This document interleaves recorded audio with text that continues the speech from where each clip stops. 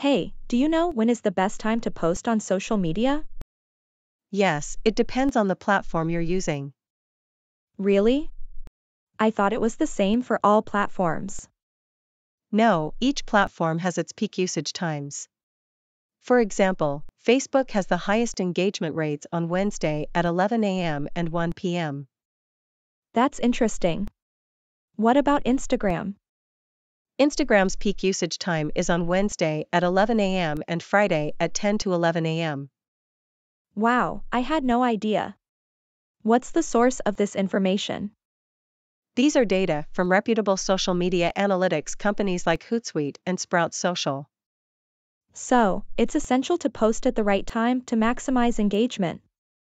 Yes, it can significantly impact your reach and engagement rates. It's also important to consider your target audience's time zone and behavior patterns. Thanks for the insight. I'll keep that in mind when planning my social media posts. Glad to help. Remember, the key is to experiment and find what works best for your audience.